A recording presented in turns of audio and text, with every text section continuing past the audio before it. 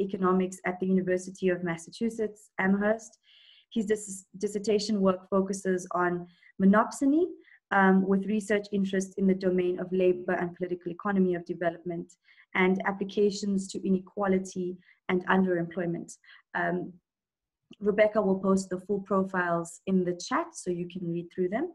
Uh, Surbhi is an assistant professor of economics at Azim Premji University um, in India.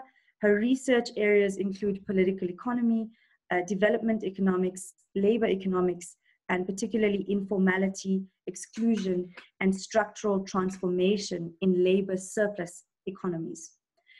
Um, again, uh, Rebecca will put the full profile in the chat, uh, but I'm really glad that we have these two speakers. I know they're both really busy, so I'm going to hand over to them uh, to chat to us a little bit, uh, and we will have time for engagement after that.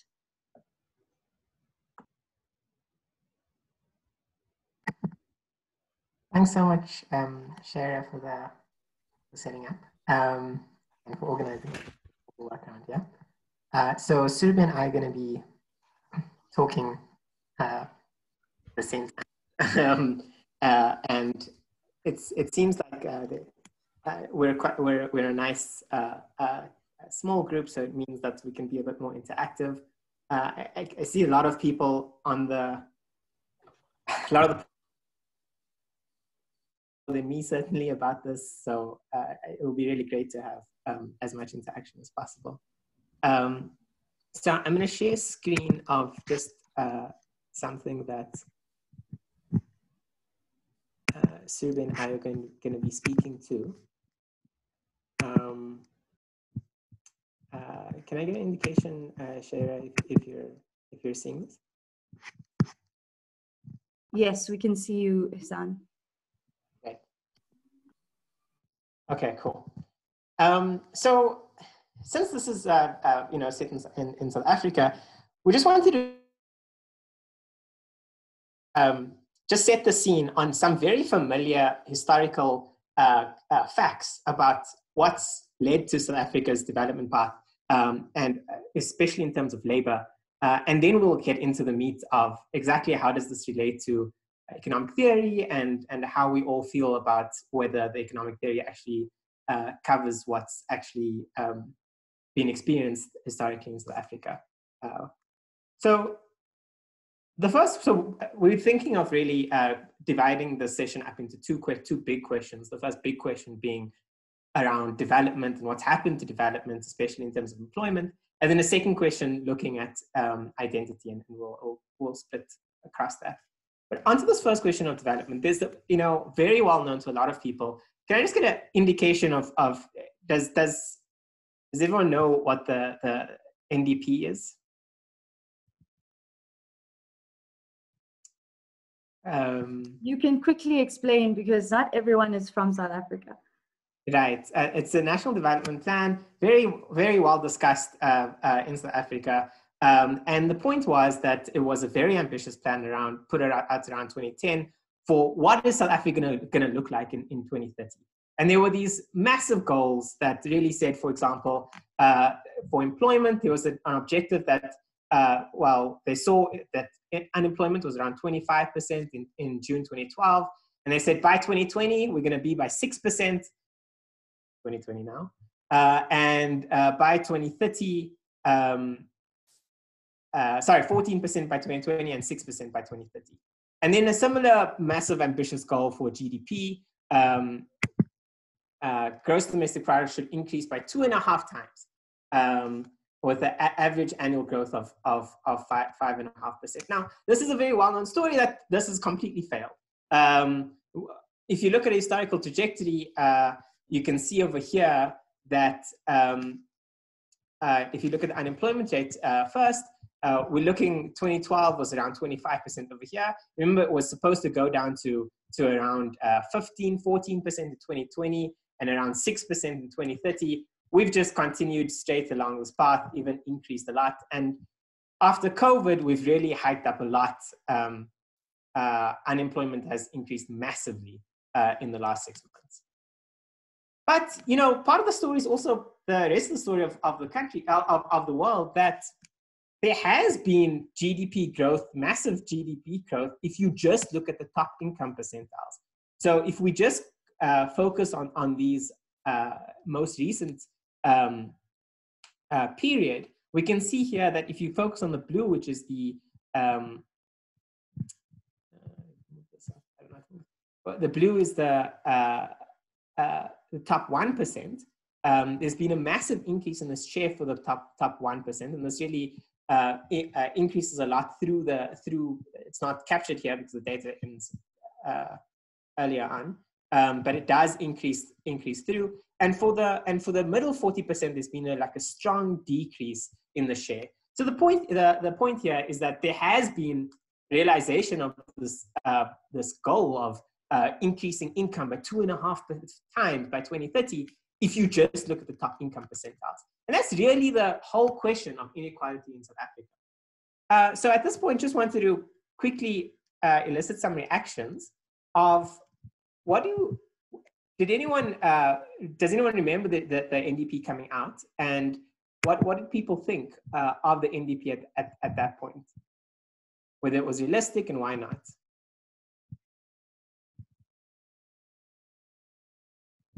Uh, Ihsaan, I'm just gonna change the settings so that people can unmute themselves. Uh, because at the moment we've set it um, differently. Um,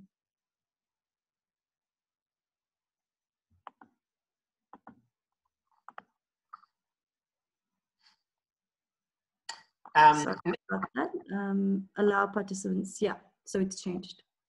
So, so please do just unmute yourself and, and, and jump in. There's only a few of us, so just uh, say. Um, but while people are thinking, maybe, um, I mean, the economic theory was really not was really in line with this with this NDP. This is this is from the NDP. Uh, over here, you can see that there's this kind of circle that they put out, and it's really very close to the the kind of virtuous circle that's put out in in in uh, like the most neoclassical uh, models of trickle down growth. You increase profits, you lead to expansion of firms. Those firms then employ more workers and you get rising incomes in a, in a wonderful story of growth leads to employment. Um, yeah. Um, Surbhi, you now.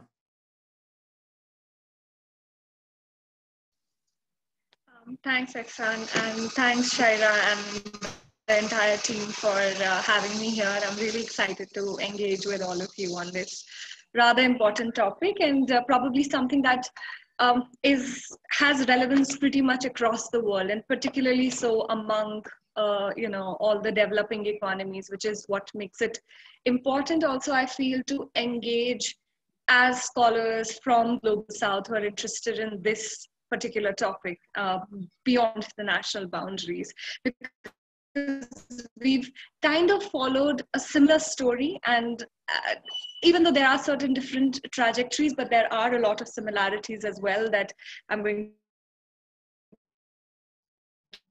to try to point towards taking off from what uh, Ihsaan said in terms of this virtuous cycle, what forms the basis of uh, development economics uh, is in, you know, follows from Arthur Lewis's 1954 famous work, which was about the unlimited supplies of labor, where the argument was that a developed economy is distinct from a developing one in terms of its economic structure where a developed economy where a developing economy has this huge traditional or pre-capitalist or non-modern sector whereas and uh, and a small modern sector which is capitalist in nature and you know is formal sector uh, is uh, how we understand it today.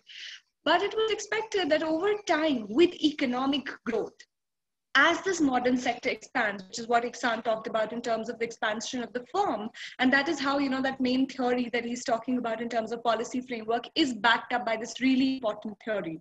And what happened is that uh, the idea was that as growth happens and this modern sector expands, as these firms expand, the labor that was uh, that used to find employment in this agricultural or non-capitalist segments would be drawn out and be absorbed in these modern formal sector.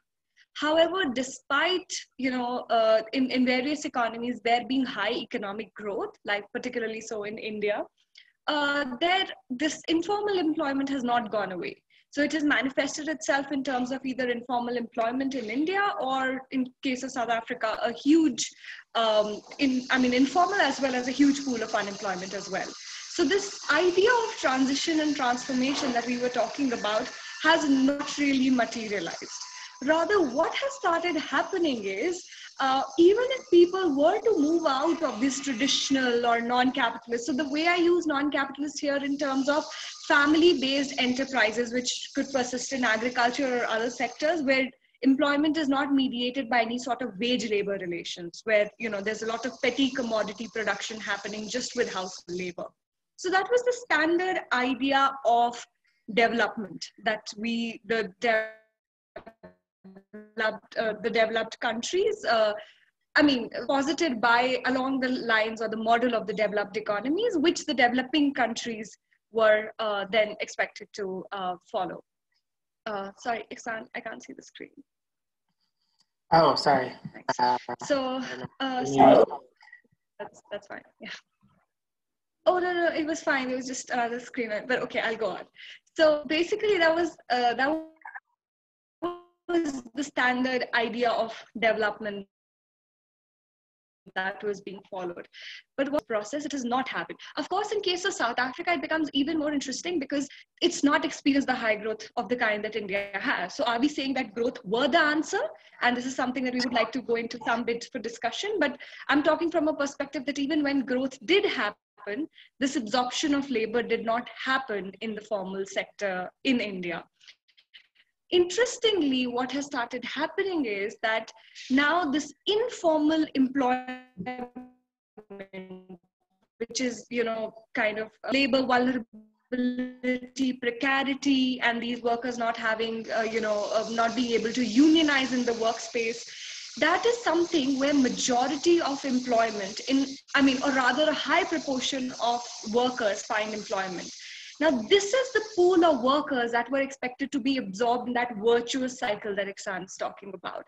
But interestingly, what happens is that it's, it's seen that these economies did not really undergo that Lewisian transformation. That is why this informal employment exists. These are the remnants of uh, the, uh, you know, these are the remnants of this traditional segment and the non-capitalist segments and uh, broadly that sort of an idea. But what has started happening is that even in the global north, there has been an increase in informality and precarity.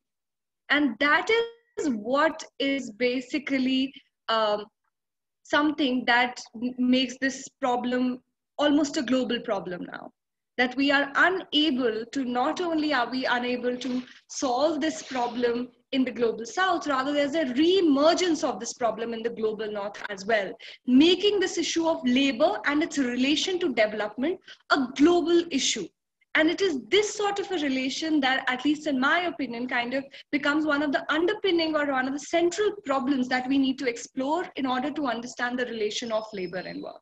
Ihsaan, do you want to uh, yeah just to add that um, two things. Firstly that that I mean, just to, to get an idea for South Africa, something like uh, 33%, a third of all workers are classified as, as uh, informal. Uh, and that means that um, these workers are not bound, for example, uh, uh, as uh, are, not as regulated, so in today's terms would not be fall under the national minimum wage and so on. And really, you can think about that informal labor force in two different segments, which which Surbhi also mentioned. One segment which is about the informal sector, and that's about producing, uh, you know, it's about like side of the road goods and, and selling stuff. Uh, and then the other uh, kind of for, uh, type of informal labor, which is the kind of uh, informal, if you're looking at within uh, the formal sector, um, you, you, you find workers that are kind of not at all paid the, the national minimum wage, not are not given written contracts, uh, and so on. Very common, for example, uh, in outsourced industries, very common in uh, in agriculture and, and, and so on. So, um, uh, the second thing is that uh, actually let's let's maybe um, ask directly for anyone who wants to put input of uh, what, why do you think there's, there's such high unemployment in South Africa? Um, like for yourself and also for what uh, kind of uh, economics says. Um, in any thought, um, even just starting off with what what what was taught in in in courses, for example.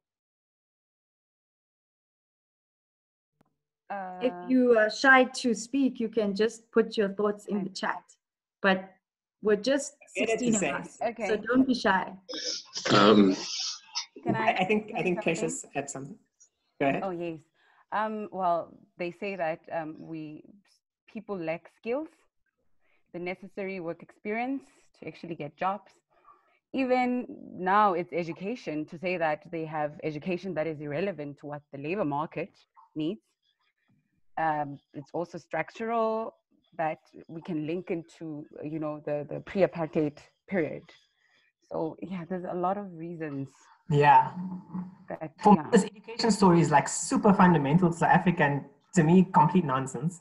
Um, but it is something that's like so widely taught and, and, and, and, and thought about in terms of policy, the policy uh, space. Uh, and and uh, like it's, it's very much exactly what, what, what, what uh, is completely common in, in, in courses and so on. Uh, so it's a perfect point to, to, to bring yeah. up what strikes me um, or what struck me as an economics student is that despite looking at labor econ- economics and thinking about uh, what was taught um, from a more conscious lens it didn't equip you with the confidence to try and ask these difficult questions. And this is the perennial question i think for us. Why yes. is unemployment so high when there's so much work to do, when there's so much development that needs to happen as well. Um, and I use the word development very uh, reluctantly, like many of us. Um, but even concepts like precarity, we've not really owned them in terms of understanding them through our our context, where precarity is the norm and not the exception. Um, you know, so that's something else that comes to mind. Right. I, I think Lee had, had something to say. Sorry, I, I, I can't see while everyone everyone everyone's speakers. So please do just jump in. Yeah, I'm sorry. I'll try and be brief. Um, this question has kind of obsessed me for the last uh, few months um, because what you learn at, at undergraduate level doesn't answer um, unemployment. The the why is South African unemployment so high. When I spent some time in China, it was something that always struck people um, in China that like, how can you have a country with 30% unemployment? It's, it's crazy. And um, I suppose my own understanding or research is that you you have to go back to like 1970 where you have the last kind of like census data that was reliable before you kind of have this black hole of data in the 80s and 90s and it seemed that it, it, around that time you actually had um, a labor shortage problem um, according to Seekings and Nattrass. Um, and the apartheid, yeah, which is just mad. Like I can't, I can't conceptualize such a world, but. Um, but it's not right. It's it's it's an apartheid labor shortage problem. It's a labor shortage of white people. Yeah, well, so Which is, like, again, this is just based on what I'm reading. Um, no, of course, of course, yeah, yeah. Not so, yeah, I mean, there's there's there's a lot to, but uh, yeah. what was interesting for me is that the part of the government kind of seemed to um, see that black people didn't want to work on, on farms in essentially slave labor conditions. And they, they had, like in many developing countries, this sort of uh, um, subsistence farming backup option. So if you couldn't get a, a job in the city in, a, in an industry, you could maybe still work on farms. And they were like, no, uh, let's just take away the land and force them to work on farms, um, which happened. And then ironically, in about the 80s, the apartheid government decided no, um, we need to be more capital intensive. So we're going to we're going to put um, sort of tariffs. In, um, you can write off your tax on new equipment really easily. So then all of this labor that they forced basically to work on farms was then substituted by capital. And so you come into 1994 and you have this um, this unemployment problem already existing. And then after 1994, you eventually the way unemployment is measured, um, you know, suddenly you have all these women entering the um, the labor sector for the first time. And I think it might be similar to what you see now with the latest uh, quarterly labor force survey results, where before the reason that unemployment has technically gone down in this latest stats SA report is because people can't actually go and look for work. And so I think post 1994, you had all these people who were not actually able to look for work before entering, which caused the spike. And then there's all sorts of problems around industrialization that is super capital intensive in South Africa, that we have no light industry. Uh, but yeah, I've said a lot. I'm going to stop. Yeah, I mean, the methodology of our statistics in itself can be questioned when it comes to looking at labor more broadly. Um, thanks so much, Lee. Back to you, Ihsaan. And so. Um, this is like, uh, yeah, this is completely excellent. Um, I, I, agree completely that the that the historical origins of these is, is so important. Uh, in in South Africa, it's like kind of mad to think about unemployment without thinking about the historical origins, because as you say, it's it's exactly the the the uh, if you even if you if, even if you believe the Lewisian model, which which uh, has as as well argued that that it's there's a lot left to be desired there. Um, the the it's kind of like you don't have this this this uh, this backup option of land because that was taken away forcibly through removals. Um, uh, you know, in, in multiple waves, both in terms of the rural sector as well as the kind of uh, during a, uh, apartheid through the through the uh, dispossession of urban land. Um, and it's kind of it's mad to think about unemployment without thinking about the land problem, without thinking about the spatial problem, which is, is kind of well, where is that? Uh, in, in the courses we, we, we get back to as Pesha said um, we get back to uh, something like education which I mean uh, uh just to just to say something uh, I, I, in my own research, research I look a lot of, at firms and one statistic that really strikes me is that if you think about the gender wage gap for example just as one illustration something like half of the gender wage gap is accounted for by things nothing to do with education. It's only to do with people being able to, men being able to find better jobs than women, for example, because women have, for example, more uh, care responsibilities or more spatially bound, for example. And the same thing, the same statistics really come, come through for if you look at uh, by class as well. If you look at kind of the middle share of, of income versus the lower share of income, a very small percentage, in fact, less than half of of the variance in wages is accounted for by differences in education. This, the story of education is, is kind of like it's great for the neoclassical model, but it doesn't work in South Africa because really what's driving the differences in South Africa is our historical um, uh, inequalities. As you can see here, we do get growth for the top 5%, but that 95% is very much a story of, of, um, of apartheid-based uh, uh, dispossession carrying on into, into our current period which everyone knows except for economic classes, it seems. Um, sorry, that was a rant. Uh, does anyone else want to, uh, do, do, you want to go on, do you want to continue? Um, thanks, Ihsaan. Yeah, just kind of following up on your point. One is in terms of, you know, this dispossession that Ihsaan talks about, that people's agricultural lands are being taken away and they do not have any resources to subsist on. So which becomes like, you know, the classic Marxian story where he talks about uh, that in order for you to develop the kind of economic system that we have today, there are two preconditions that are needed. So one is in terms of create, I mean, so basically what you need is to create a doubly free labor. Now, what is this doubly free labor?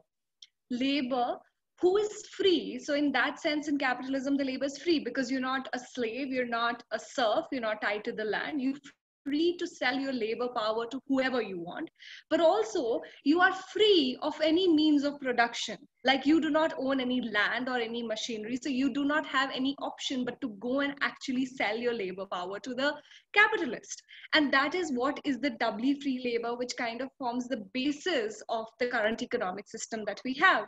Now, this dispossession that Ihsaan talked about is basically, you know, people's land being taken away, so you don't even have another option.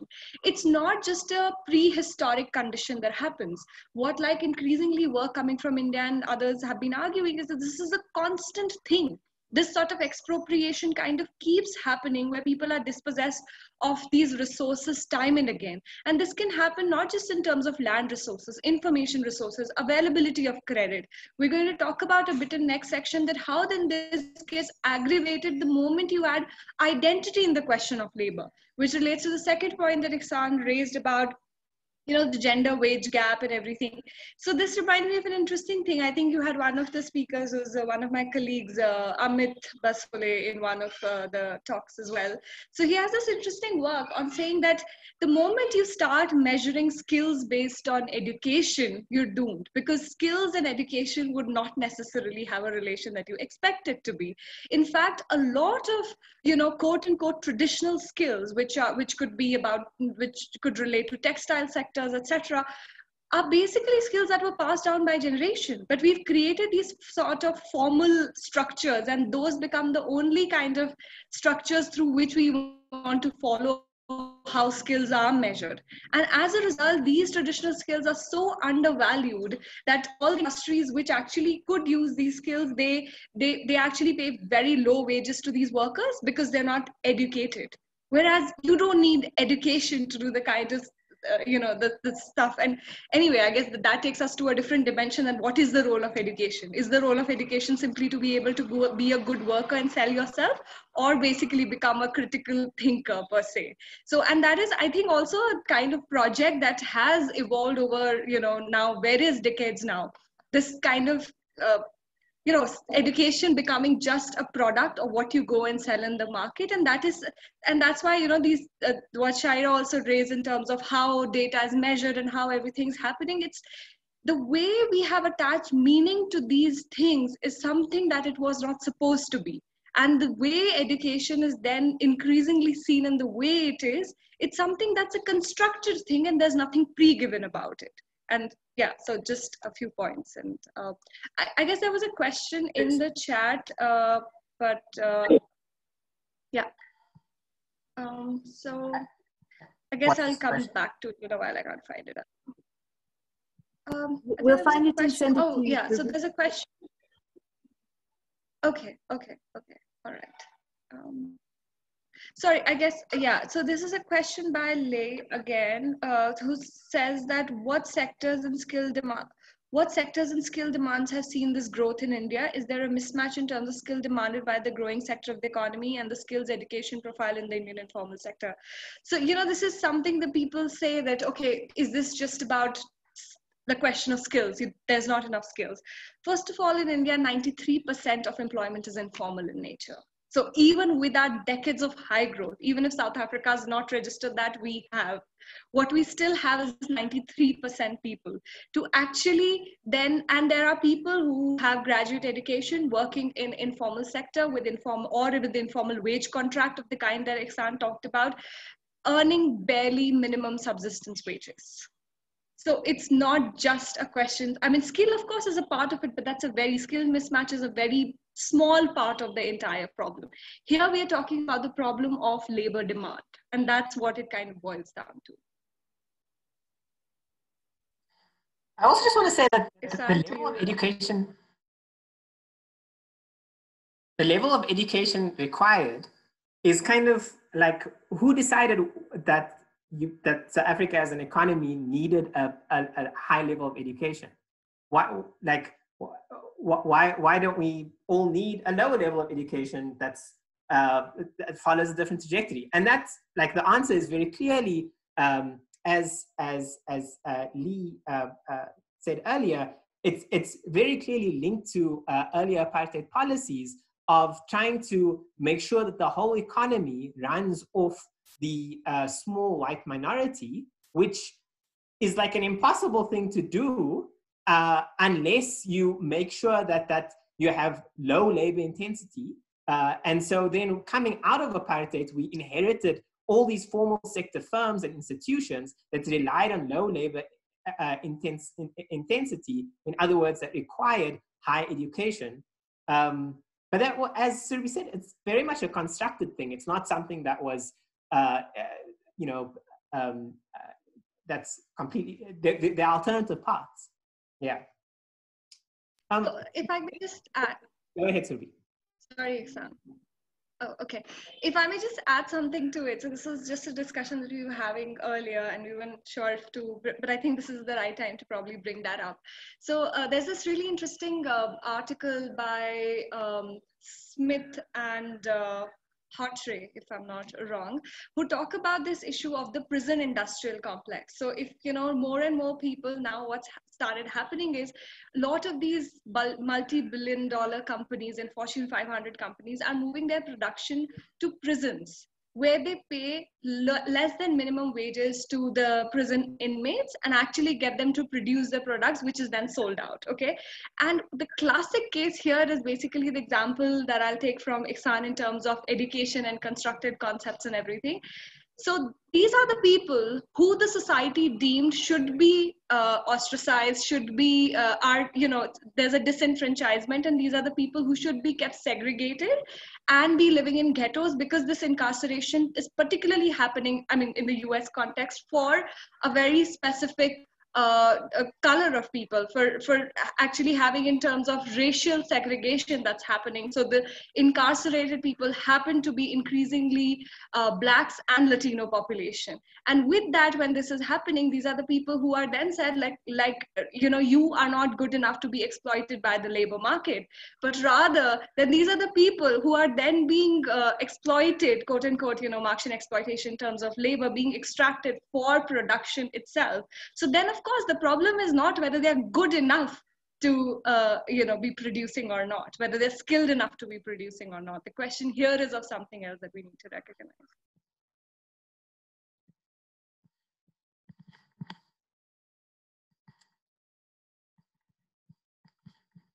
Um, maybe at, at the point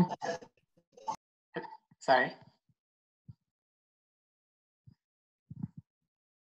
Um, sorry, I'm, I'm struggling to to to uh, go through talking and looking at the chat. Uh, but um, don't worry too much about the chat. Um, we'll we'll keep an eye on it. If any questions okay, come directly to you, I'll let you know. Perfect. Uh, I just um, I want to make one more point, which is about the, uh, the the economic trajectory that we've been choosing over since 1994 is very much the outcome of political contestation. So it's kind of like, why did we choose to continue the growth path such that, as we've seen, the top 5% have had massive growth, even in the last 10 years when the rest of the country has been close to recession. Um, whereas media, like most people's incomes have really not grown in the last 30 years. Uh, and that's very much a kind of uh, a choice that was uh, made through political contestation uh, by the uh, policies adopted. Uh, you inherit a, a, structure of the economy in 1994, but there was a kind of decision to, to some degree, not challenge it that much. Um, I wanted to open up now for for uh, maybe to ask directly to, to to everyone in the room. What do you uh, I don't know, Surbhi, if you think this is the right point uh, to do this. What What do you think of the growth project? Um, and I mean, from, from uh, not not not that there's uh, it sounds like a loaded question after this discussion, uh, but there, there is a big question of like, you know, we we want growth in our economy, um, and uh, we want the the mass increases in in living standards. Uh, but the questions are kind of multiple like what do we have to sacrifice to get that growth? Can we get that growth? And when that growth comes do incomes rise? Um, but there's a project associated with growth some of which for me personally i do buy into uh, some of which uh, i don't buy into and especially actually for over the last few months of covid and i've rethought a lot of the a lot of the questions personally around growth. Um, but if, if we can get any thoughts on what do you think of the growth project that's very vague, but um, uh, if you want more specific things, are there, are, are, are there aspects of the growth project that are worth pursuing? Uh, what are the aspects of the growth project that are not worth pursuing? Um, So Josh put in the comments, can we talk about growth without talking about distribution? Growth for who? Yeah. Can I come in, colleagues? Yeah. Yeah, I, I think growth is important to the extent that uh, it enables the state to derive income through taxation from the corporates and obviously, hoping that the income will be used correctly uh, to build hospitals, provide basic services, and, and what have you. Experience in South Africa has been that uh, even though we have had growth, the kind of growth that we've had, especially early during the, the time of Thabo when the economy grew from, between 5 to 7%, it was largely jobless growth. And so the sort of outcomes that we, we envisaged did not accrue. So it seems to me that oftentimes the, the question or the project of growth, as you're putting it, Ihsaan, is advanced by people who you know believe in the neoclassical ideal of what uh, should happen. That is to say, allow the corporates the space to do what they want to do and allow the state to derive incomes from the corporates to provide uh, basic uh, services. Thanks, Isaac. Right. Yeah. I mean, for me, just to just to plug into a, a different conversation, which is about the uh, which um, some of us uh, very much share, for example, uh, uh on the on the basic income guarantee. That's very much to me what what what what part of the part of the kind of settlement is. It's like if you if you get more money from firms that are able to grow, uh, you can then tax it and redistribute it, which Buso is is how I interpret what you said. Um, which has advantages in terms of uh, you know, it means you can allow for the, the like capitalist development to be unleashed, but has disadvantages also because we haven't seen that unleashing happen happen. And secondly, it's fundamentally a little bit uh, disempowering to make to allow for growth only to happen in the in the in kind of formal sec, formal firms, whereas by its nature, it's excluding uh, in terms of actual in terms of a kind of empowering productivity uh, it's exclusive for, for against the, the rest of the population. I don't know. Any other thoughts um, on the growth project? I think we need extensive industrial policy to actually grow. And I think that the thing is, education doesn't exactly raise productivity or export competitiveness without an industrial structure that actually backs it up. Um, I think that that should be limited. I think it should come with welfare growth. It should be aimed towards cooperatives where possible, and it should be environmentally friendly and green orientated where possible. But I think we do need extensive industrial policy in light manufacturing to actually grow. Sarah, do you want to? Because I know your thoughts are very much against industrial policy, even though I'm I'm I'm kind of on the fence on it. I wouldn't say completely against, but I can talk about reasons why it probably did not happen in several uh, countries. And whether so i guess i have two points to raise here. One in terms of countries that did follow successfully you know successfully industrialized those are the questions that i was raising that us is the prime example of it. And that is why we're talking about how there's been an increase in informality precarity and actually a fall in real wage uh, levels you know real wages for the us uh, despite having undergone the industrial policy. This is not to say, of course, that one doesn't uh, do it. Of course, if one can, in the current climate, that's where my inhibition would come at. Whether we can do it in the current uh, sort of climate and the global climate is one part of the uh, uh, argument that I'm making. And the second part of the argument is that even for the countries that did undergo this sort of industrialization, a lot of issues that, you know, what Shaira said, that this is the normal employment. So what we call normal is now, you know, emerging there as the non-normal or the not standard employment is and that is something that that that's basically bringing up the problems that we have been facing for for the longest of time. Now for the first part where i was saying that in the current climate will an industrial uh, uh, you know industrial revolution and an industrial uh, policy industrialization be pos- possible or not? Um, there comes this basic question of even when there is, let's say, industrialization, are we expecting there to be labor intensive industrialization? Or are we still expecting it to be extremely capital intensive such that it wouldn't transform into what we really need in terms of real changes, you know, material changes for people? And second thing is that even when so india has been following this sort of dilution of labor uh, laws increasingly particularly after the pandemic which in the current policy climate is the worst thing to do probably.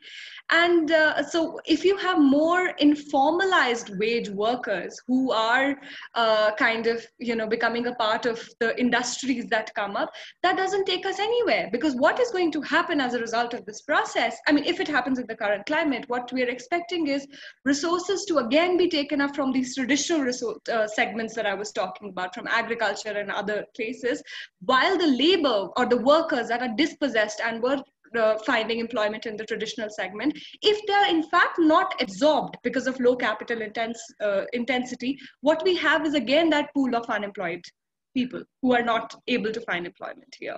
So that is how like, so, so that's why I would be really skeptical of whether in the current growth and capital intensive and profit driven kind of climate where direct things for security of labor as well as for uh, distribution is not done. Would just an industrial policy take us where we want to? I have my skepticism for the reasons i mentioned. Mm. Ihsaan, do you want to uh, no I, I, I, think that's, that's well covered. Uh, i see there are a couple of questions here uh, from both Mahfouz and from Precious about uh, focusing on welfare compared to focusing on economic growth, um, which uh, really reminds me, Surbhi, of the discussion in Sanyal uh, about the development discourse. And, and I know you're, you'd be much better placed to, to speak to that. Please go ahead. I'll add as in when, uh, if I have to add anything. Oh, um, just that I, I mean, in the, in, in the development discourse, uh, there is a kind of there was a shift from growth itself between 1960 and to 1980, uh, maybe 90, towards something that's more about like uh, if some of you are familiar with Sen's kind of uh, um, multiple criteria of, of welfare. So like you look at education, you look at life expectancy, you look at a number of, of outcomes and you say and you see uh, are these improving? So these are the real outcomes uh, kind of entitlements and and capabilities approach for the buzzwords. Um, but uh, i mean part of this is that it's kind of like a little bit strange because this shift in the discourse from economic growth towards welfare happens precisely at the time where you get a failure of the of the economic growth project 1960 to 1980, you get 1960s, you have this incredible wave of decolonization across the continent. You have uh, enormous uh, kind of plans across many kind of inspiring examples of industrialization. And it works for a decade or so. You're hit in the 1970s by this kind of debt crisis. It kind of demolishes a lot of these countries' Um, and you have the classic story of structural adjustment programs. And kind of people are like, oh, actually, this growth project, industrialization project didn't work. Um, what can we revert to? We can revert to a kind of um, poverty metric, which really kind of to date makes very marginal changes about like, oh, and, and, the, and the kind of favorite tool is something like RCTs.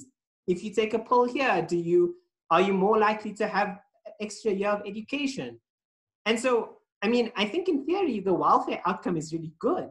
But in terms of development practice and the discourse, it's come out in a kind of um, like in a scary way, uh, where the, the, the, it's kind of undermined some of the, of the, of the more important question is of this, there are kind of like structural elements that are preventing the wholesale development of the of a society because precisely within this focus on the welfare uh, the welfare metric in the development discourse there's very little critique of the capitalist system.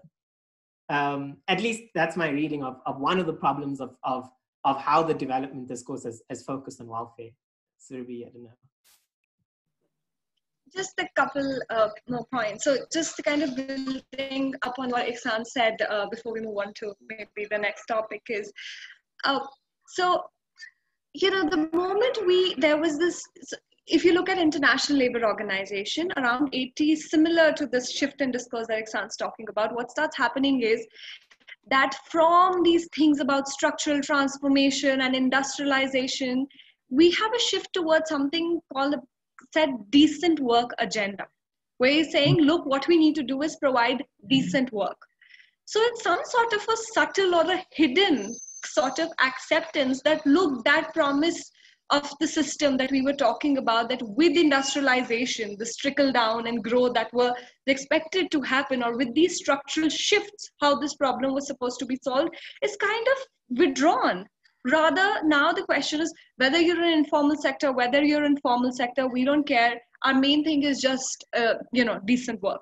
But the problem is this issue of decent work is also very closely linked with this issue of industrialization and the kind of system that we have. This sort of moving away of the two and is, is, is was actually this sort of what Ihsaan said the failure of the growth process and the transformation process which then came to be you know almost raising hands up. Look that that is not happening. So let's now look at these small interventions and hope that they will make any changes.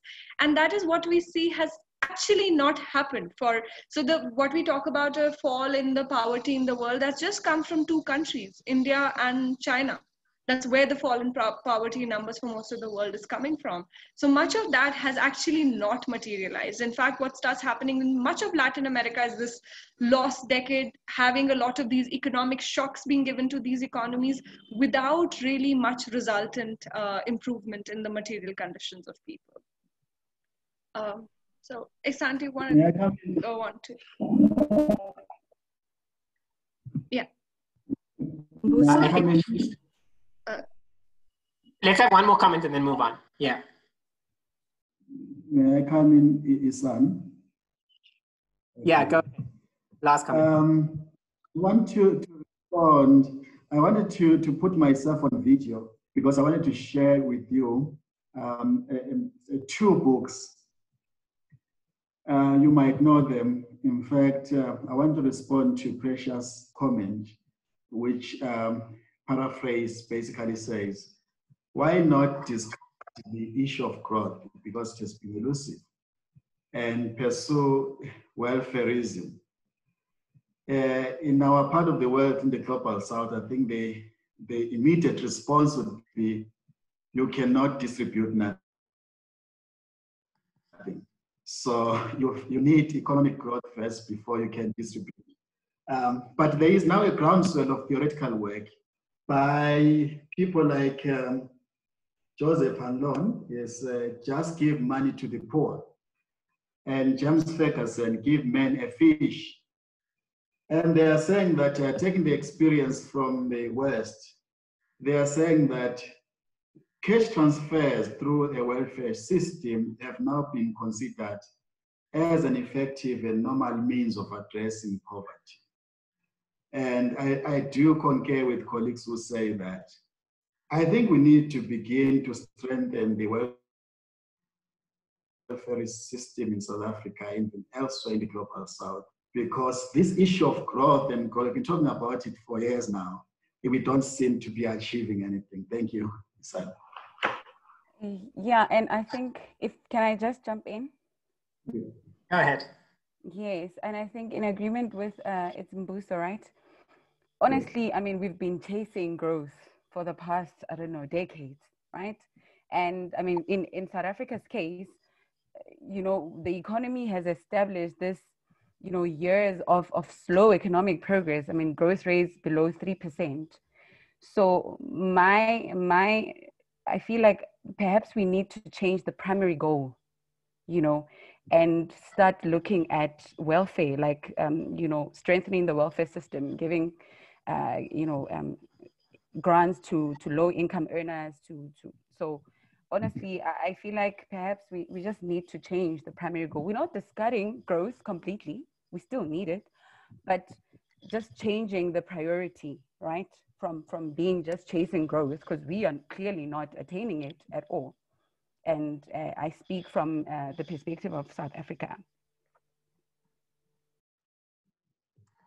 So, so I want to I want to make one more comment. I'm sorry, I'm abusing my role here.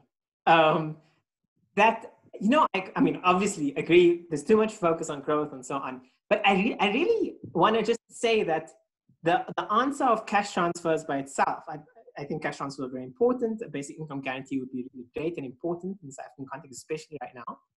But that by itself, for me, is completely inadequate because I really can't think through the political economy implications of a future trajectory of South Africa where you have a a smaller and smaller um, formal sector of employed workers holding all the productive capacity of the country, and you have transfers in, I mean, we're thinking about the trajectory of the development, that transfers really allowing the rest of the country to subsist. It's a kind of dystopia to me that of, of the most, of the worst kind of imbalance of power possible, where at the end of the day, who how do you determine bargaining power? If you have all the productive capacity, the state only has so much only has so much political power to be able to redistribute from an increasingly small segment of product, uh, productive segment to an increasingly large um, uh, cash transfer recipient base. To me, that's that that kind of end end point is is is impossible. It it it, it can only end in ruin. And so it's something that I grapple with a lot because obviously cash transfers are extremely important right now and we need to expand it but it's it's not the answer for me um, i'm going to come in um, so i know this is a discussion we've been having a lot uh, when we talk about basic incomes and uh, whether basic incomes themselves are merely reform uh, in a system that is clearly failing, an economic system that is clearly failing, um, and is becoming the snake that eats itself to an extent. Um, but what I'm really interested in from, from you and Surbhi, uh, Ihsaan, is when you talk about methodologies in reframing labor and work through economics uh, at a university level, to what extent do you think there are interesting methodologies that are coming through? And is it possible for us in this session to maybe explore some of them uh, and think about them uh, in, in a way that would help with REFA's work going forward. The, the second session is, um, you know, the second session today, which is the closing session, is on uh, building institutional change. So I just want us to focus a bit on those methodologies so that when we do go to that session, it would be really cool to tie in all of the other interesting things that we've discussed now that uh, would, would enhance the discussion in a more practical sense so that um, students who are on the call, academics who are on the call, people from civil society are all given an opportunity to kind of hone in on what the thoughts are on some of these methodologies. Right. Sorry, Shaya. This is actually my fault. I, I we digressed, and I, I, I also digressed, and so on. Please don't apologize. I think that's a really important point, though, because when we talk about labor and work, and we talk about cash transfers, which is where the, the, the, the focus is shifting globally with the pandemic, we can't have this discussion without thinking about what that means. So right. please don't apologize. Yeah. yeah. I, I think this, the, the second part, uh, what we're going to hit into now, which is the question of identity, really d- directly deals with some of the tools uh, available. So if, if that's okay, we can we can transition into into the, the, the second topic. Okay, so um, just to look again at this, uh, sorry, I'm being silly. Uh, okay, so uh, can you see labor and identity on the screen? Yeah. Great. So, so just to move into the yes, segment, yes, how does labor and identity uh, look look like? So we, we were just discussing in the last hour on about development and, and alternative approaches and, and problematizing it. We can also ask similar questions about labor and identity. And if you look at the current tools that are, that are discussed within uh, kind of classic uh, uh, undergrad curricula, even honors level, even master's level, um, I mean, all the way to, to PhD, uh, like uh, what I've, uh, yeah, in, in courses. Um, it's kind of the discussion of identity is very much, for example, centered in, the, in, in the global north, for instance. And secondly, it's centered on kind of very strange theories that are quite ahistorical. So um, this is just a, a one of the a table which I love to show, which is showing if you look at the top 10 journals, economics journals over the last uh, 30 years, actually. So it's about uh, 100 papers, 100 to 150 papers. Something like only 100 of those 100 papers, um, that's 1%, uh, actually mentions discrimination. It's incredible. Like if you think about what are the main issues today, inequality is very much up there. Um, and of those 100, it's kind of all of the discussion is based on kind of statistical discrimination, which is this one weird interpretation of what drives discrimination. Um, and so we're going to speak a little bit about what are the alternative tools and, and, and thinking around discrimination. Surbhi? Thanks, uh, Ihsaan. So I, I, guess what I'm going to try to link up in this particular topic, to, uh, topic is to talk about three central things and uh, relating to the uh, question that Ihsaan raised to begin with. First, we are talking, when we talk about the issue of labor and discrimination based on identity, there are uh, one the, the basic set of problem is that is the what is the role of identity in the reproduction of the economic system itself? Like identity based oppression in the reproduction of economic system. That's kind of the first question for me and i'll go into each of these uh, in a little bit of detail. The second question is that um, how is it that discrimination takes place in the labor market? That's second. And the third of all is that what are the tools available with much of economic thinking in terms of dealing with this discrimination and why and how they might be problematic and what could be some alternate frameworks. So first to talk about role of identity based oppression in the reproduction of the system. It's not, uh, I mean, it would be known to the, uh, all the audience here that slave trade and racism played an important role in the development of capitalism itself. As and, when capitalism was, sorry? And apartheid, yeah. Yes, yes, exactly. So, so these were basically some of the base, some of the central ways through which the system came into being itself. One was, uh, you know, this historical sort of trajectory that we are talking about. And second that we're talking about is in terms of even in the current system, there's a huge subsidization of work that happens because of certain works being relegated to certain identities. And here I'm basically talking about, let's say, care work. If you know there is commodities to be produced in the factories, there is someone who has to produce the labor who goes and produces these commodities. And that is where the central aspect of care labor comes into being. So these are just two small examples to basically say that either when we're looking at the historical reproduction production of the system or the continued reproduction of the system, these identity-based oppressions play a really important role. And 3rd mm-hmm. point that I want to kind of raise is, uh, sorry, just maybe we sorry, can speak. maybe we can speak directly to this uh, this picture, which illustrates the the, the role of, of care work on your point right now. Yeah, Ihsaan, do you want to add something to it? Oh, just that this is this this picture. This is from Federici. He speaks a lot about care work, uh, and it really um, illustrates it really well. Uh, because so if, if, we if we go back many slides, um, sorry. Oh, if we go back many slides, so this over here, the NDP, uh, like looking at uh, all this language about employment and growth and raising living standards and capabilities. Uh, but behind that is that's already focusing on the factory itself, capitalism. But behind that is kind of the, the process.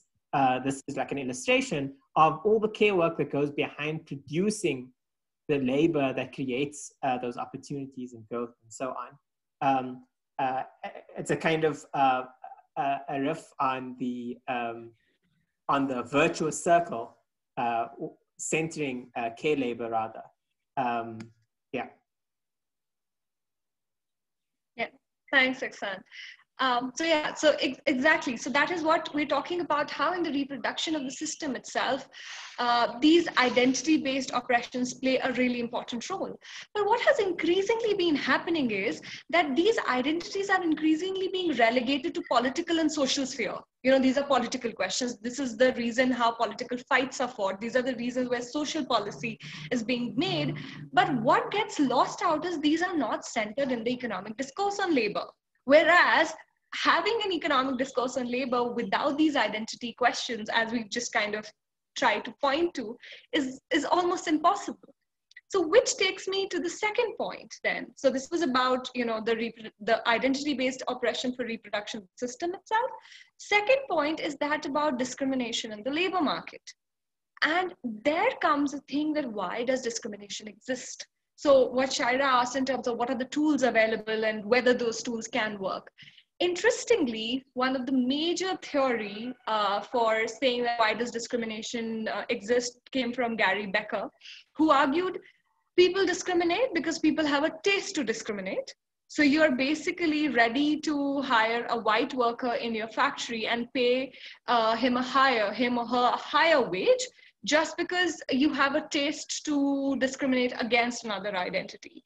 But for him, therefore, the solution also then said that, look, no, it would be the, the problem cannot persist in a competitive economy because these are the people who will be competed out automatically.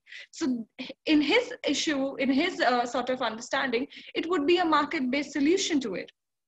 Ihsaan probably can come in and talk about that why in in this uh, you know sort of scenario the labor market would not solve this problem because you know the, the issue of monopsony and all other things. Ihsaan, do you want to come in here? Um, I mean, I think one um, way about it is that uh, if in, so a concrete example is that in South Africa you have this, as we discussed earlier, this incredible spatial distribution uh, inherited uh, from apartheid and not changed very much in the last few years. Um, for, I mean, you can, it's where I grew up in Cape Town, it's, it's the most stark, uh, but you, I mean, in, in Joburg and many, many cities. Um, think about what are the costs in a very mechanical sense. If you have a firm in the center of town and you have, for example, black workers that are mostly working on the on uh, far from the center of town. What are the wages that are needed in order to um, in order to for, for you to for, for, for your travel, for example, to be covered? And it's obviously going to be much higher for black workers who are further from the site of the job than for other workers, white workers who, are, who reside closer for historical uh, reasons. Uh, that's one concrete example of how firms then have, have to pay higher for black workers. And of course, then it doesn't make sense. And so they hire the white workers. And it means that there's this kind of built in uh, labor market discrimination of white workers getting the highest paying jobs. Yeah, thanks, Ihsaan. Um, so yeah, that actually a perfect example. I didn't think about that one. Uh, but uh, interestingly, now this was in terms of saying, you know, how markets would clear and solve the issue. Another way in which it is seen is quite absurd and is basically one of the major ways uh, how much of the mainstream economics discourse explains discrimination. And they say that, look, there are actually differences in productive capacities of, let's say, two groups, blacks, whites, or men, women. And they say that that, uh, that differences agree, uh, that differences exist because, let's say, some groups had lower education and therefore have lesser productive capacities. On an average, if we know it to be true, then if I meet a woman or a black person or a brown woman, I know on an average they are less productive. So if someone comes to me and I do not have complete information that if they are, you know, an anomaly in the set, then it is rational for the employer to discriminate. And that is given as a reason as saying that, look, it's just a problem of incomplete information.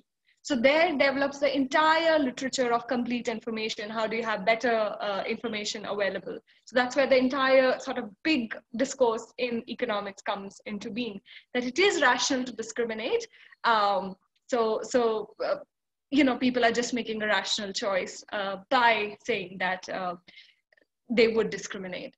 But I guess this this sort of justification that is provided is is then again problematic in various ways.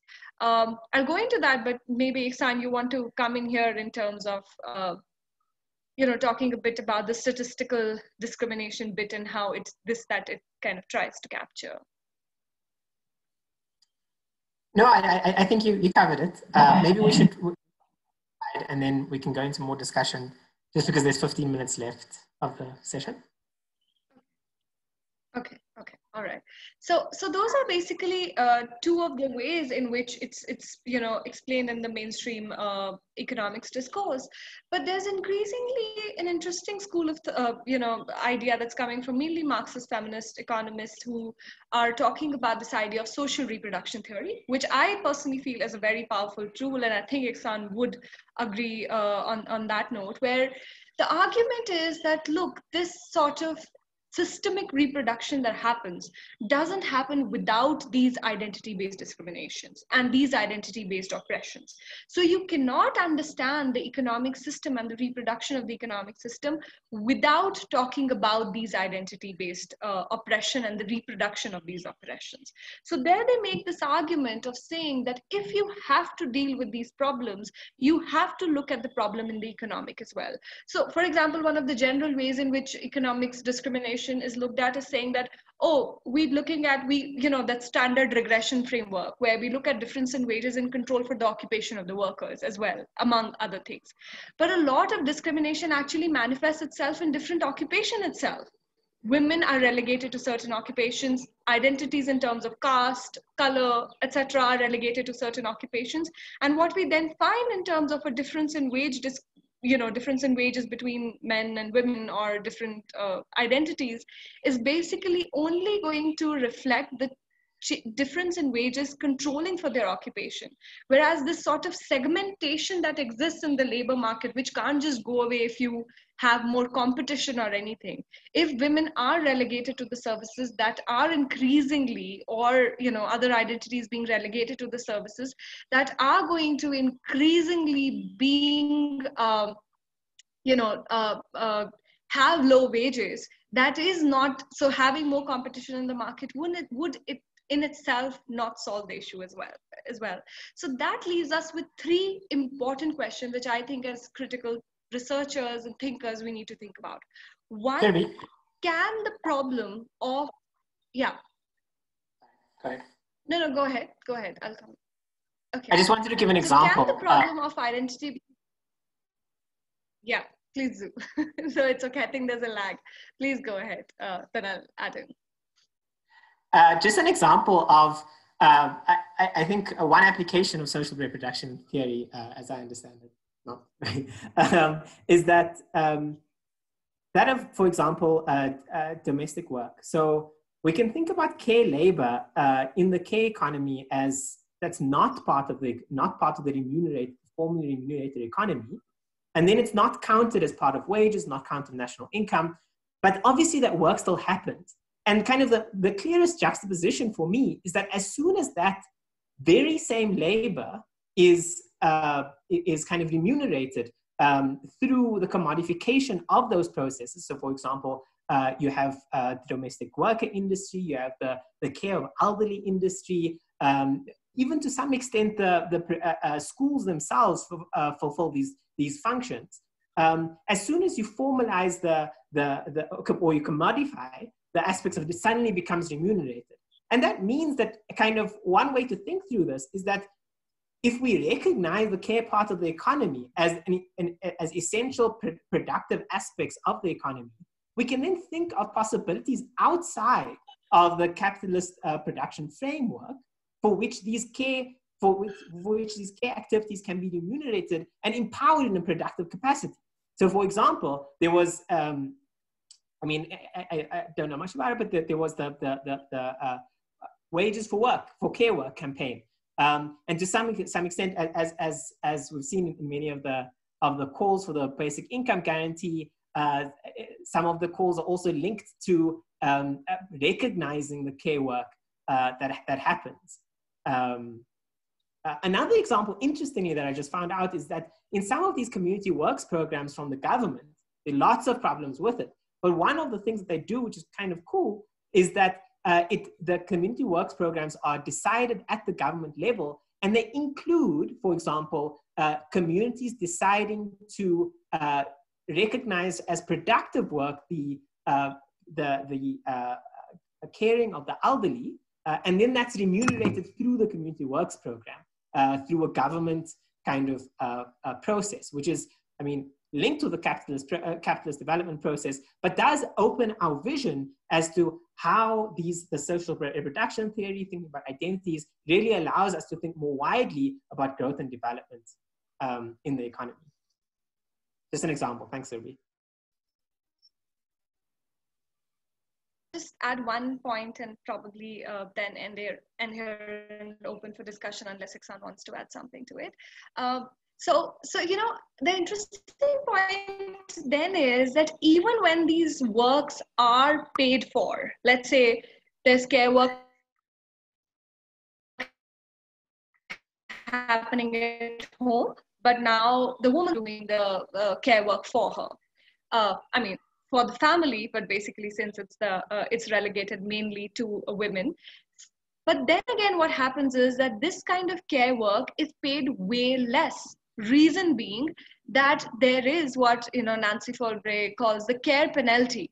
Just because this this work is basically relegated to women and you know in U.S. context identities which are mainly blacks and Latinos, just the fact that they were being done by that identity they are actually depreciated and devalued more. And the emotional labor that goes into the entire performance of care work is almost seen as a gender or an identity aspect and is then not paid for. So I think that leaves us with three questions, which I think are kind of important. One, in terms of in the current system that we are in, can we solve this problem of issue of identity based oppression? Like is it possible? Because we started building the discussion by saying that look they played a very important role in the system itself. So can that solve the problem? For example you know black excellence having more black capitalists in indian case having more dalit capitalists does that solve the issue? Second question that we have now is in terms of but even if that identity based uh, problem gets solved do we solve the problem of um, worker oppression. Because much of the mainstream idea would actually talk about assume that both worker and the employer has same power when they're entering into this free contract of labor which it might not. So that's the second question.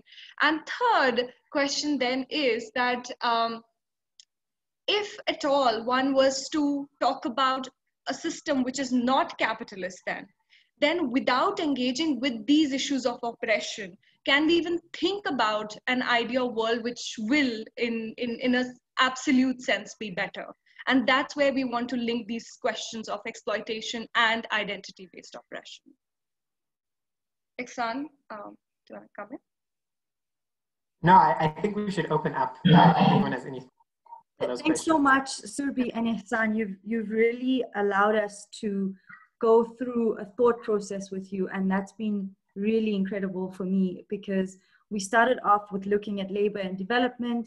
We then looked at identities and we wrapped up really nicely when thinking about specific examples of methodologies that can allow an opening of our imagination to viewing labor and work in a very different way through economics. Um, but what's also really come out is that the institutions themselves, so the universities themselves, and the economic systems that they're based in um, cannot be changed just by rethinking the economics curriculum uh, within our courses. Uh, there's agitation work that needs to take place both inside the institution and outside the institution. And so we've got some people from civil society here. We've also got some academics and students.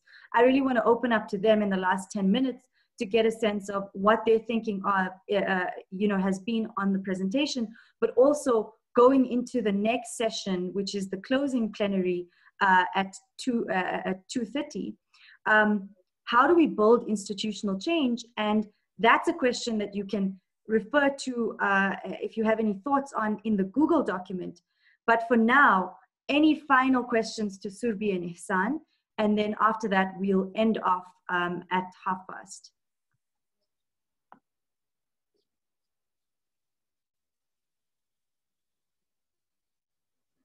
So I have a question.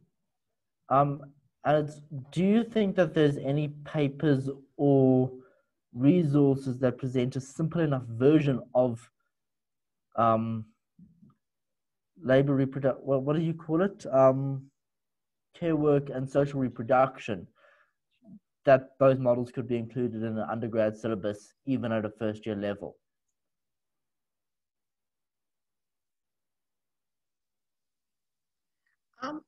I know there's this one book which is very interesting, but I think by similar authors, but I think that's a graduate level textbook. But by similar authors, I think there's some really interesting pieces that one can look at. So this is this book called Social Reproduction Theory. Uh, it's by, it's edited by Tithi Bhattacharya and it has some really interesting work, particularly by Nancy Fraser on the crisis of care. And Nancy Fraser's work just generally also how social identities and exploitation kind of goes like uh, capitalist exploitation, work exploitation goes hand in hand is amazing. There's this one of her articles uh, which is called Is Capitalism Necessarily Racist? That's the title, which is a very interesting read. So I would definitely recommend that. In terms of social reproduction theory, to think about sexuality, Alan Sears has some uh, interesting work that people might want to uh, look at. And then finally, this question of that do we want to then talk about systemic changes and how can we think about these identity based movements? So, you know, India is now having a Dalit, which is a caste based, you know, India is a very caste based society. I was about to say casteist society, which would also be true, uh, but basically um, the caste based society. And uh, there's this huge thing going on about Dalit Lives Matter, which is synonymous to you know the Black Lives Matter in the U.S. Uh, right now, and and how these sort of social identity based movements can go and question the system itself is if you want to look at that there's this really important work by Cinzia Arruzza on feminist strikes uh, which you might be interested in as well Surbhi, um, if you can, before you leave, uh, just share the titles that you've mentioned in the chat, please.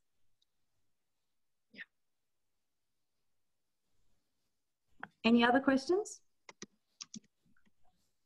Um, I'd like to say, like, thank you very much for the, the presentation, and I missed a bit of the early part, so maybe this was covered covered already. But um, uh, in terms of like like the discrimination um, in the labor market, there's like uh, lots of evidence to show that uh, being part of a union like helps reduce the levels of um, uh, gender gaps and uh, other sorts of discrimination in um,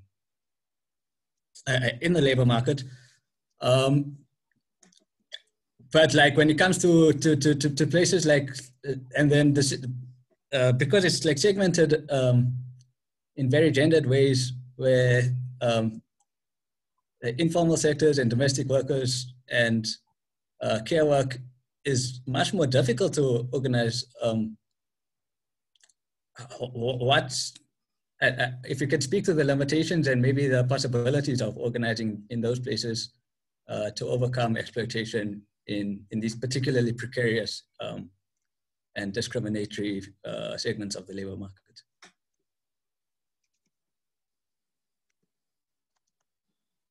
Uh, I, I don't know if I was clear, but yeah, thank you.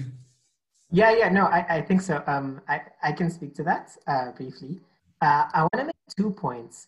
Uh, I think the question of unions is super important for both um, class, the question of class inequality as well as um, discrimination just in, firstly, in terms of inequality, I think one really uh, one important thing which I think is is uh, wrong in which uh, unions are, treat, are, are, are, are kind of dealt with in curricula is that unions are generally thought of as kind of a union premium, which as that goes up, you, you uh, is insiders within the firm that uh, create rents. Uh, if this is familiar to anyone who's, who's with, with, that kind of demand supply graph, you above the equilibrium and, and you push out some workers and create unemployment. Uh, and that's really said as, as one of the kind of uh, reasons behind unemployment in South Africa, um, you know, which might be part of the story, uh, it's true, but I really don't think is, is, is a large part of the story at all. Um, uh, I do want to say that that specifically in terms of unions, uh, I think that the approach of exploitation is really useful uh, there because uh, one of the primary functions of the union is to uh, look at the profits of a company and to redistribute the, the, the share of profits from uh, owners of the company or high managers towards lower, lower income parts of the, of, of, the, of the economy. And that kind of income level distribution is really, at least in my experience, both in uh, undergrad and graduate studies, was never dealt with in relation to the union story. And it's really the central question of what unions do in terms of, in terms of when you look at Marikana, you look at union protests in general, uh, it's like we need to reduce exploitation. We need to reduce the amount of profit cut that the company is taking. It's not, to, it's, it's, I mean, there's, um, the focus is on the profits of the company, not really about the labor income distribution within the within the labor.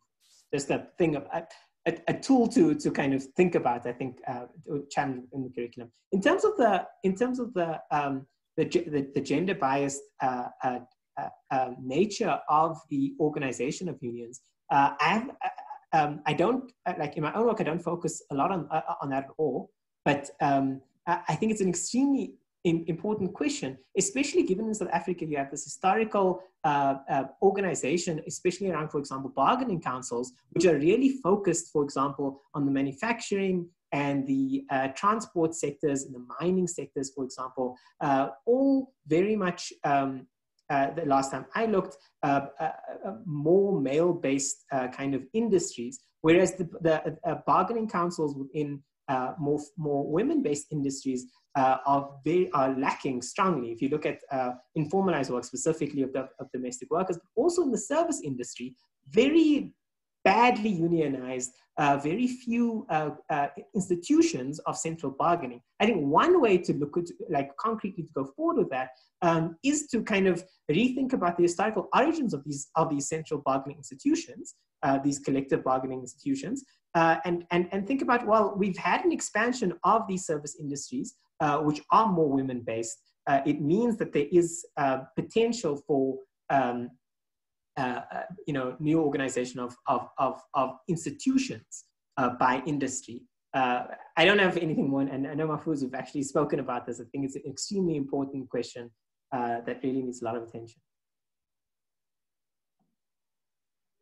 Thanks. If if everyone is okay to just share any further questions they have with us via email, we can send it to Ihsaan and Surbhi because we have unfortunately run out of time. Um, and I do want people to get a bit of a break before the closing plenary, which starts at half past two. Um, we really appreciate uh, your contributions, Surbhi and Ihsaan. I know that you're both uh, dynamic and young academics. Um, in, in economics and we, we, we, we really benefited a lot from hearing your perspectives, especially because both of you have been involved in decolonization and rethinking economics work in your own contexts. Surbhi, um, there's some really great work that the Rethinking Economics Collective in India has been doing. I know you and Ihsaan were on a platform there uh, previously. So if there's any materials that you think would be good for us to have a look at, even from other pluralist economics um, spaces that you're involved in, please do share that with us and we'll make sure that it gets to participants. Um, to participants, you've been really patient with us. Um, you've engaged so well with um, the speakers and we've learned so much from all of you as well. So thank you so much from me and the co-facilitators. Um, we do have forms that you can uh, stream before the end of the weekend. Um, and uh, pop the link there so that you, you have them before we go. Um, and you can watch them anytime, uh, so please check some of them out. Uh, I do think that from yesterday's presentation when we heard from uh, Jonathan, uh, it's interesting to see how film and storytelling and narratives play such an important role in how we, we learn. And that is also central to uh, the work that REFA does um, to create also a space for interdisciplinarity. So thank you again, and we'll see you at the closing plenary at half past two. The link is uh, over there in the chat. It's not going to be this link. Uh, we'll be using the closing plenary link, so don't forget about that, and we'll catch, catch you there. Thanks so much, everyone. Thanks so much, Thanks, everyone. Thank you. Yeah, thanks, everyone. Yeah, it was enriching, and I learned a lot from you guys. Thank you. Thank you. Great. Thanks so much, Prof.